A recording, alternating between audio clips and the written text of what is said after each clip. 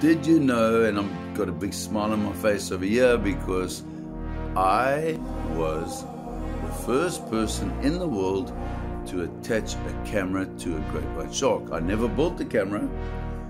That honor goes to Greg Marshall, who worked for or still works for National Geographic.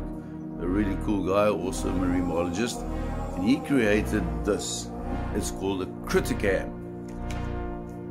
The only thing is that Greg Marshall, when he arrived here with National Geographic and BBC, he had no idea how to attach a camera to a free swimming great white shark. But he was working with the best in the world. And we looked at this and we said, no problem.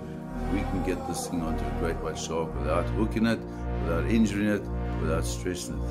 And we became the first team in the world to attach a great white shark with a camera. And I was the first person to actually put the camera onto a great white shark, a free swimming great white shark.